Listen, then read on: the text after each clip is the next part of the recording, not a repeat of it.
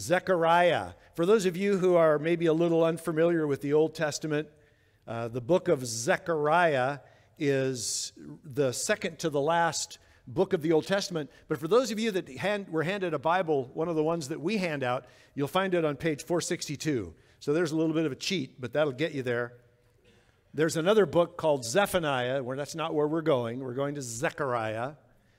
And we're going to be talking here about what happened on Palm Sunday. I want to revisit some of the prophecies about Jesus from that day because, you know, we, we come to Palm Sunday, Palm Sunday. How many of you, when you were kids, used to go around the Sunday school area, you know, waving palm branches? I did when I was a kid. And uh, of course, we'd use them to hit the girls and stuff. But um, and sword fight with the guys. But Palm Sunday was always just commemorating the day that Jesus came into the city riding on a donkey. And we know that there were all these songs that had to do with Hosanna and this and that, and we'd sing them and go through the. And that's really kind of what it was all about. As I learned more about what Palm Sunday is in, in the years that followed, and after I started walking with the Lord, I realized that Palm Sunday was this incredible prophetic watershed event that really leads to the prophetic insights about his second coming.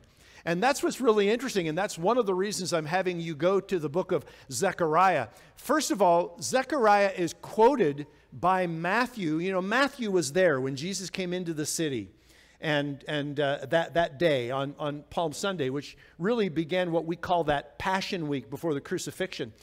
And Matthew saw this event. And when he wrote it down in his gospel account, he actually quoted Zechariah, which we're going to be looking at today, because he saw in Zechariah uh, a, a fulfillment of what was taking place. In fact, let me, let me show you on the screen how Matthew kind of gives it to us in chapter 21. He says, Now, when they drew near to Jerusalem, they came to Bethphage, to the Mount of Olives. Then Jesus sent two disciples, saying to them, Go into the village in front of you, and immediately you will find a donkey tied and a colt with her. Untie them and bring them to me. If anyone says anything to you, you shall say, The Lord needs them, and he will send them at once. He goes on to say, This took place to fulfill what was spoken by the prophet saying, and here he's quoting Zechariah, say to the daughter of Zion, Behold, your king is coming to you, humble and mounted on a donkey, on a colt, the foal of a beast of burden. The disciples went and did as Jesus had directed them. They brought the donkey and the colt and put on them their cloaks, and he sat on them. Most of the crowd spread their cloaks on the road, and others cut branches from the trees and spread them on the road. And the crowds that went before him and that followed him were shouting, Hosanna to the Son of David! Blessed is he who comes in the name of the Lord! Hosanna in the highest! And when he entered Jerusalem, the whole city was stirred up, saying, Who is this? And the crowd said, This is the prophet Jesus from Nazareth of Galilee. Before we get any further, let's pray. Father God, open our hearts to the ministry of your word and teach us today. We long to learn and grow and have greater understanding of these things. And we ask it in Jesus' precious name. Amen. Now that we've looked at this historical event from Matthew's perspective, again, he was an eyewitness of all these things. And we've looked at this prophecy that he quotes from the book of Zechariah we now find ourselves here in the book of Zechariah, and I'm going to have you start off in chapter 9. So turn over, please, to chapter 9. Let me, let me just, before we start reading, set this up for you just a little bit. Because Zechariah wrote these prophecies down at a time when Israel was actually still in exile in the Babylonian kingdom. It's interesting that we're actually talking about those very events on our Wednesday study right now through Jeremiah. And you, you, because of their idolatry, God raised up the Babylonian army to come and conquer the southern kingdom of Judah. Israel had been, the northern kingdom had been conquered long before, but the southern kingdom of Judah still existed. The Babylonian army came and conquered the southern kingdom broke down the walls, broke down, destroyed the temple, destroyed much of the city, took, killed many of the people, and took the rest of them essentially into exile in the Babylonian Empire. Jeremiah had prophesied saying that they would be there for a period of 70 years. All right? Now, Zechariah is writing right toward the end of that 70 year period. He was a contemporary of the prophet Haggai. Now, so Israel is about to be released from their Babylonian exile. And this is, just to let you know, written down about 500 years before the birth of Jesus Christ. Okay? So that gives you a sense of where we are. Now, it is in chapter 9 and then skip down to verse 9 that we read the verse that Matthew quoted. It says, Rejoice greatly, O daughter of Zion. Shout aloud, O daughter of Jerusalem. Behold, your king is coming to you. Righteous and having salvation is he, humble and mounted on a donkey, on a colt, the foal of a donkey. Now, this is a, this is a, this is a great prophecy. As I said, 500 years before the birth of Jesus Christ. But what this prophecy is about, of course, and why it is so important, is because Palm Sunday was the very first time in Jesus' public ministry that he allowed his followers to publicly declare him Messiah. Prior to this time, when he did a miracle, he'd always be telling people, Don't tell anybody. Don't, you, you know, go show yourself to the priest, but don't tell. They did anyway. But he didn't want, he wasn't ready for that public announcement to be made. The public announcement came on Palm Sunday. And you'll notice that the people cried out saying, Son of David. Remember, that was a messianic term, all right? To call someone the Son of David was to say, You are Messiah in this particular instance. That's why the religious leaders got so upset about what the people were saying. In fact, they went to Jesus, you'll remember, and they said, Tell your followers to be quiet. They're calling you the son of David, they're calling you the Messiah. Tell them to stop. Jesus said, No, no can do. And you remember how all that sort of a situation went. So, what's particularly interesting, historically speaking, is that the prophecy of Zechariah related to Palm Sunday said, Behold, your king is coming. Did you read that? It's right there in verse 9. Behold, your king is coming. Now, I want you to remember something. Zechariah is prophesying these words right toward the end of the 70 year exile. They don't have a king. There is no king. The last king was a guy named Zedekiah, total loser. And even though he was a son of David, he was, a, he was an evil king, and, and God took him off the throne and took the people off into exile. Do you know that after the people came back from exile, they never again had a king? They had governors, and they were appointed by the nations that conquered them. But Israel never again had a king. To this day, they have not had a king ruling and reigning on the throne of David. Okay? So you need to understand that. And yet, uh, Zechariah says Behold, your king is coming. Well, now, wait a second here. How can that be when we know historically, after the uh, exile, Israel essentially had no king? Well, you'll remember when Jesus came along, that subject of whether or not he was a king uh, created kind of a tense conversation between himself and Pontius Pilate. Do you remember that? It's actually recorded for us in the book of John. Let me put it on the screen for you. It says So Pilate entered his headquarters again and called Jesus and said to him, Are you the king of the Jews? That was the question of the hour, because of course it would be treason if he claimed to be an earthly king. And Jesus answered, My kingdom is not of this world. If my kingdom were of this world, my servants would have been fighting that I might not be delivered over to the Jews. But my kingdom is not from the world. So in one sense, Zechariah was right when he said, Behold, your king is coming, because Jesus is a king, but not at this point in his earthly appearance, a physical king. Jesus never sat on a physical throne in Jerusalem in his first coming, right? So this prophecy is only applicable from the standpoint that Jesus, excuse me, is the king or is a king of another kingdom. But here's the deal Zechariah is going to go on in this very set of prophecies here, and we're going to bounce around in the book of Zechariah because these prophecies are not in chronological order. I'm going to try to put them in some chron- uh, chronological order. But Zechariah is going to go on and talk about the kingship of Messiah. In fact, we just read verse 9 of chapter 9, right? Look at verse 10. This is amazing. He says, I will cut off the chariot from Ephraim and the war horse from Jerusalem, and the battle bow shall be cut off. And he, who's he? The one that Zechariah is talking about. Behold, your king is coming. He shall speak peace to the nations. Look at this, look at this. His rule shall be from sea to sea and from the river to the ends of the earth. Now, this is crazy.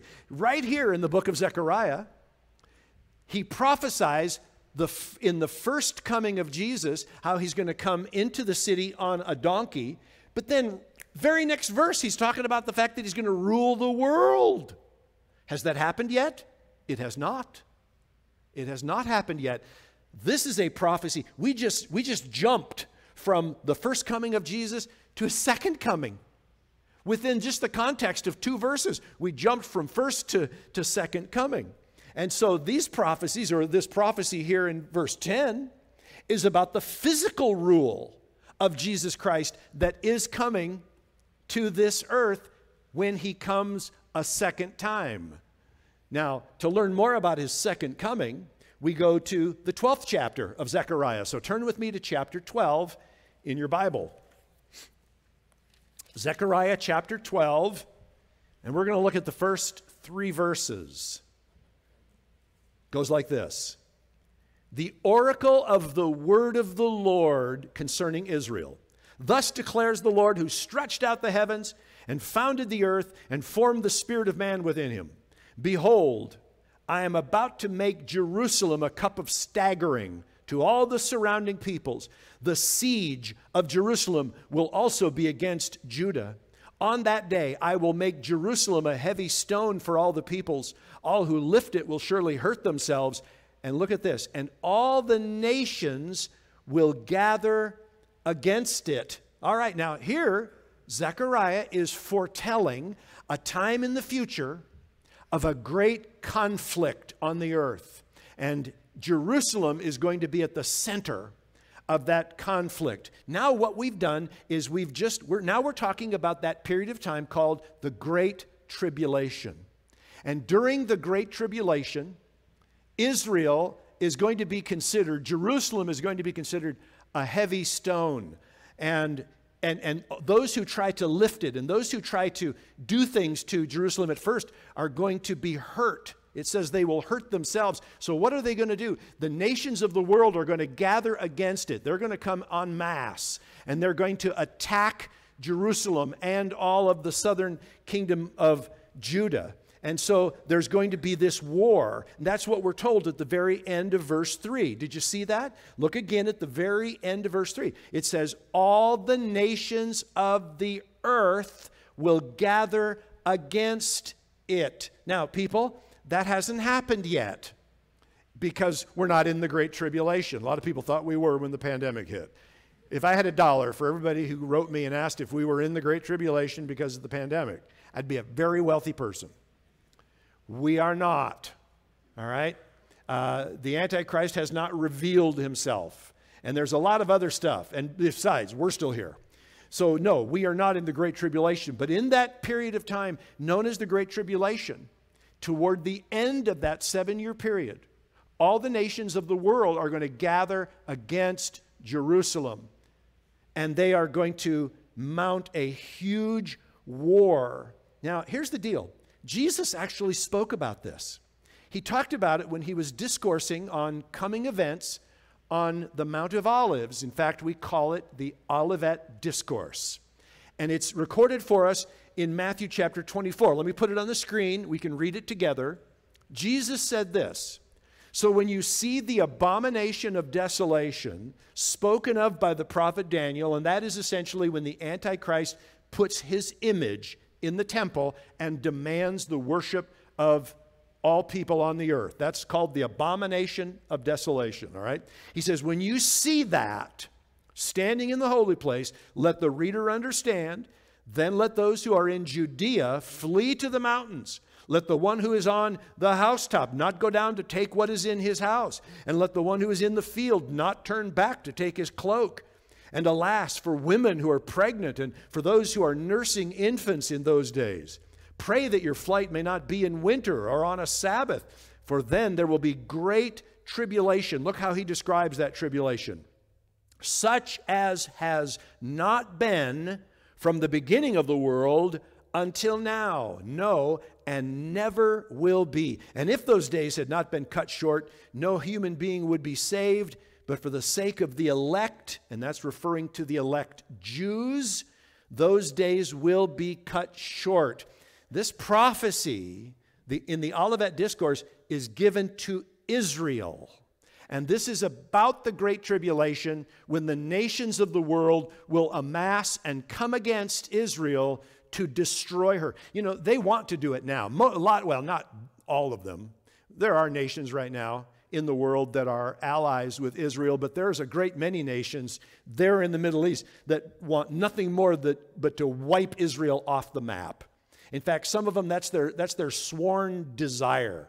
We will obliterate Israel. Well, that's going to grow and grow during the Great Tribulation period so that all the nations of the earth are going to gather together under a great deception to destroy uh, all of Israel.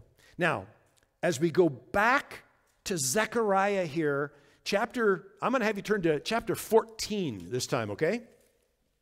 It's the last chapter of Zechariah we begin to learn about this battle, this battle uh, between the Jews, Jerusalem essentially, Israelites, and the nations who come to gather against her prophetically. and uh, start with me uh, in verse 2. Zechariah 14, 2.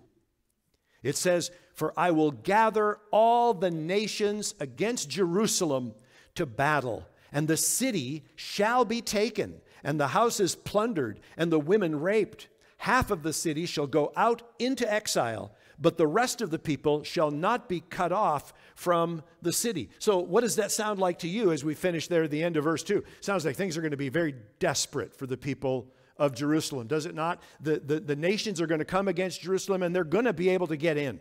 They're going to get into the city. They're going to destroy things. They're going to kill people. Women are going to be abused. It's, it's going to be horrible horrible time for them. But something big happens. Look at verse 3. Then the Lord will go out and fight against those nations as when he fights on a day of battle. Guys, we're talking about the second coming of Jesus. This is the second coming of Jesus, all right? Verse 4 on that day, his feet shall stand on the Mount of Olives that lies before Jerusalem on the east, and the Mount of Olives shall be in two from east to west by a very wide valley, so that one half of the mount shall move northward and the other half southward. And you shall flee to the valley of my mountains, for the valley of the mountains shall reach to Azal, and you shall flee as you fled from the earthquake in the days of Uzziah, king of Judah then the Lord my God will come and all the holy ones with him. Guess who those holy ones are? That's another word for saints. It's not just talking about angels, guys. The church returns with Jesus, his bride, and the church is the bride of Christ, returns with the Lord when he comes back which is kind of exciting when you stop and think about it. But you look at, we're even told in this prophecy where Jesus is going to touch down. Did you catch that? He said in verse 4 On that day his feet shall stand on the Mount of Olives. You know what's interesting about that? That's exactly where he ascended from.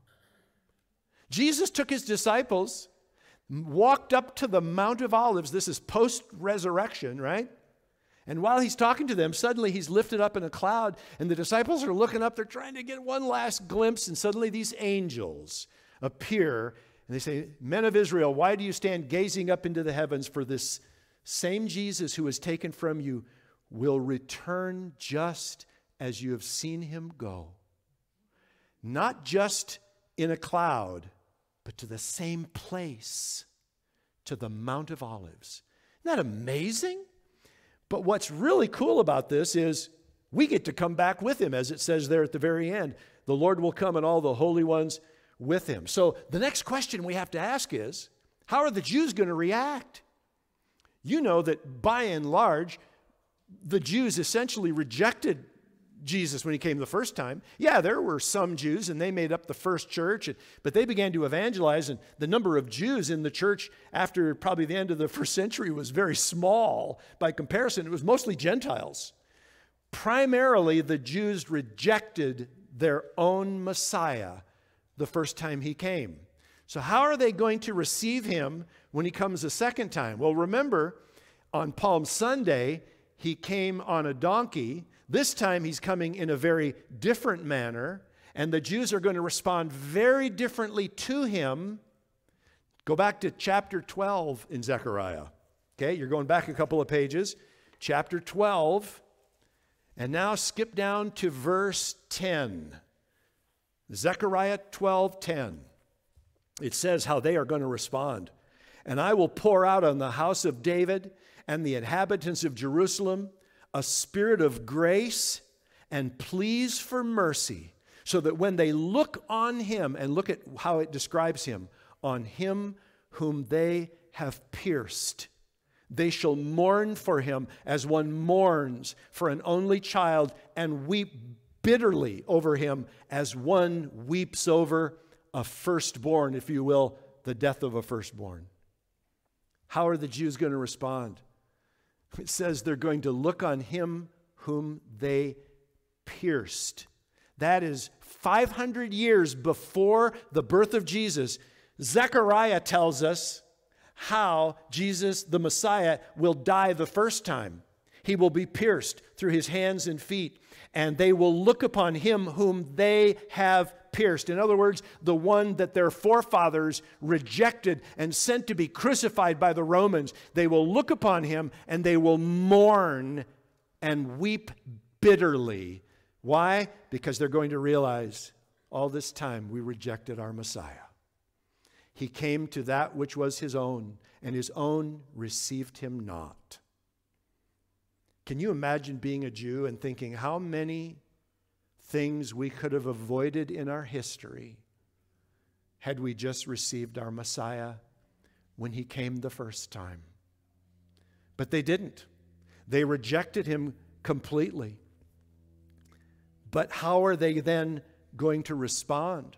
Well, Remember, Jesus is going to fight on their behalf, and he's going to put down all of their enemies. He's going to destroy all of these armies from all these nations that are gathered against Jerusalem at that time. And you can imagine they're going to know exactly who he is now. They're going to know exactly what he came to do the first time he came when they pierced him, and they're going to realize he was pierced for their transgressions, he was bruised for their iniquities, right?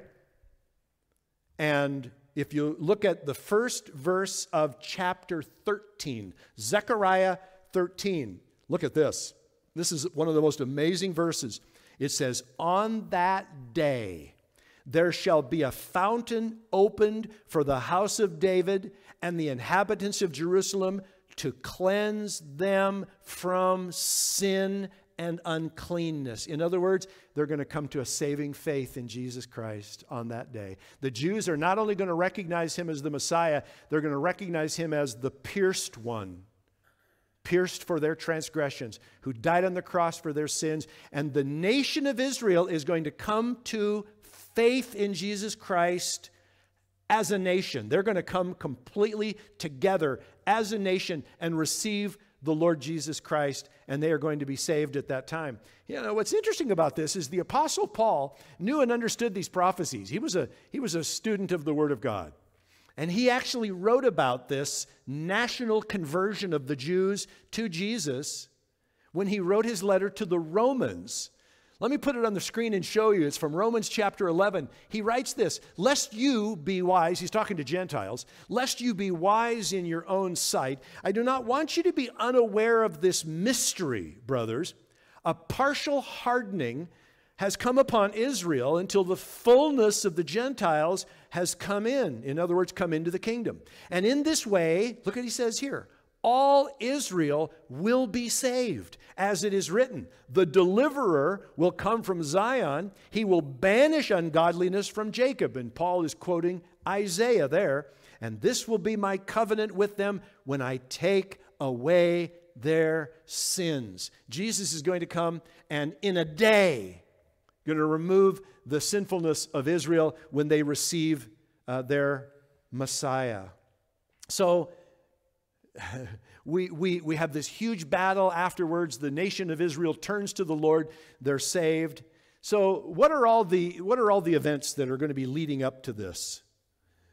Well, the next thing to happen on God's prophetic calendar, I mean, from right now, from what is it, March, I forgot, 28th, 2021. What's the next thing on God's prophetic calendar? It's the catching away of the church. The Lord comes to catch away his church. We go to be with the Lord. We, we meet him in the air. That ushers in that beginning of that period called the Great Tribulation. Seven years, the outpouring of God's wrath, terrible time on the earth. And in many ways, Israel will be protected in, in some ways during the Great Tribulation. But again, at the end of the Great Tribulation, the nations of the world under the leadership of the Antichrist come against uh, Israel, specifically Jerusalem, to conquer her. And again, that's toward the end of the tribulation. The Lord then returns in what we call his second coming. Okay? In the first time he comes, he just comes for his church and he doesn't come to the earth. We meet him in the air. But he comes to earth the second time at the end of the tribulation to battle on behalf of Jerusalem and all of the Jews, to win that battle, they receive him as their Savior, as an entire nation. And then what happens?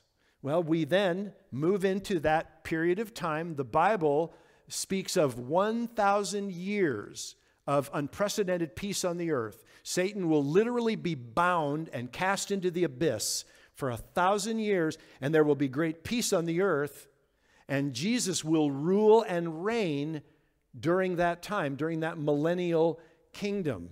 Eh, look with me in chapter 14. Where I know we're bouncing back and forth here in Zechariah, but as I said, these things are not in chronological order. Chapter 14, look at verses 8 and 9. It says, On that day, living waters shall flow out from Jerusalem, half of them to the eastern sea, and half of them to the western sea. It shall continue in summer as in winter and the Lord will be king over all the earth, right? On that day, the Lord will be one and his name one. Guys, this is the final fulfillment of the prophecy that was re- recorded by Zechariah, quoted by Matthew, as we read it there in Matthew when, when he's telling about Jesus coming into the city on Palm Sunday. He says, Remember, Zechariah said, Behold, your king comes to you. Well, in his first coming, he said, Yes, I am a king, but not of an earthly kingdom. He comes a second time, and the final fulfillment of Zechariah is completed because we read right here that he will be king over all the earth at that time. All right, now, in this same chapter, I want you to skip down to verse 16. Chapter 14, verse 16 says then everyone who survives of all the nations that have come against Jerusalem so the people of those nations their armies will be destroyed but those people will survive. It says they shall go up year after year to worship the king the lord of hosts and keep the feast of booths. Now this is fascinating. Even during the millennial kingdom Some of the Jewish feasts are still going to be celebrated to commemorate the things of, of God's faithfulness, and Gentiles are going to be invited to participate in some of these feast celebrations, such as the Feast of Booths, when they would celebrate God's gracious provision as the people of Israel were kept by the Lord all those years uh, during uh, the, their wilderness wanderings. And so, it, kind of interesting, isn't it, that during the millennial kingdom, these things will still be observed. Look at verse 17 with me. And if any of the families of the earth do not go up to Jerusalem to worship the King, the Lord of hosts, there will be no rain on them. So there's actually consequences during this 1,000 year period for those who might possibly uh, refuse to go up to Jerusalem to uh, observe and celebrate these various things. Again, we're talking about the millennial kingdom. It's also referred to as the messianic kingdom, that 1,000 year period of time while Satan is bound and Jesus is ruling upon the earth. Why did I bring all this up? Because it's all foreshadowed by Palm Sunday. Because Palm Sunday is the partial fulfillment of a prophecy given in Zechariah. And Zechariah goes on to speak not just of his first coming, but his second coming, and even into the millennial kingdom. So there's much of the book of Zechariah that is still yet unfulfilled, but will be fulfilled when Jesus Christ comes. And one of the other important and very interesting things that I want to bring up is how Jesus came in his first coming and how he's going to come in his second coming. Because you'll remember Zechariah prophesied Behold, your king comes to you, gentle and riding on a donkey. Back in those days, for a king to enter a city that was not his own, if he didn't want to get shot down or whatever, if he came on a donkey, they would know he's coming in peace. So to go into a city as a king on a donkey was a signal I come in peace. Behold, your king comes to you. He's humble gentle, he's at peace. That's his first coming. But then we know that Jesus is coming again. Does he ride on a donkey when he comes a second time? Not at all. It's recorded for us in Revelation. John sees this as a vision up on the screen for you. John writes, Then I saw heaven opened, and behold, a, a, a white horse and the one sitting on it is called faithful and true, and in righteousness he judges and makes war. His eyes are like a flame of fire, and on his head are many diadems, which is another word for crowns. And he has a name written that no one knows but himself. He is clothed in a robe dipped in blood, and the name by which he is called is the Word of God. And he goes on and he says, And the armies of heaven, arrayed in fine linen, white and pure, were following him on white horses. From his mouth comes a sharp sword with which to strike down the nations. Notice, he's coming into battle against the nations, and he will rule them with a rod of iron.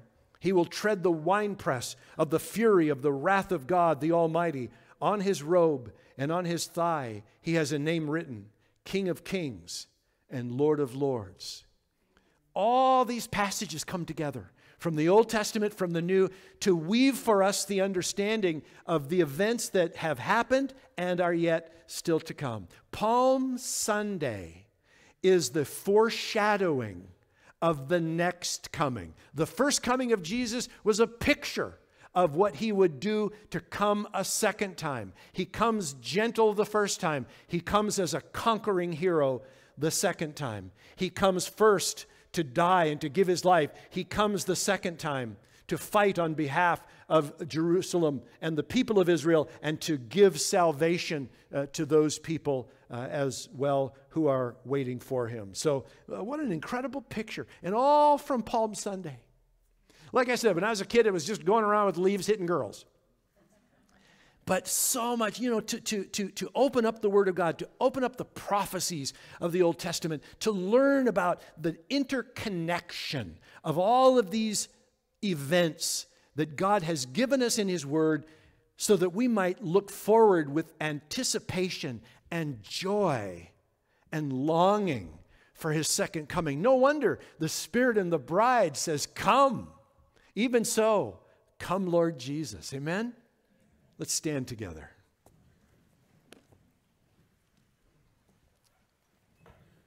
We're going to have our prayer team up here to pray with any of you who need prayer this morning.